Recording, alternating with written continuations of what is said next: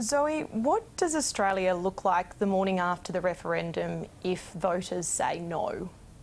Yeah, Stephanie, that is the most important question uh, and the one that I spend most of my time thinking about. This debate has been terribly divisive in a way that not even I foresaw. Uh, I see real sadness amongst our community. I see friendships that are on hold. I see families that don't want to sit down together. I have seen a real nastiness that has frankly uh, taken my breath away because I didn't think this would happen.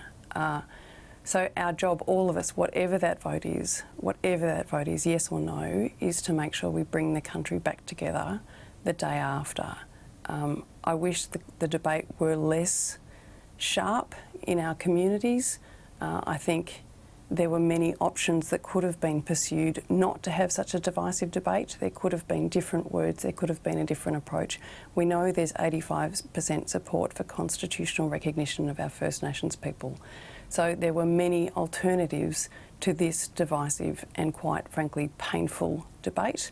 So the important focus is the day after and how we bring Australians back together, how we get back to being proud and strong and unified and equally back to addressing the different outcomes between Indigenous and non Indigenous Australians.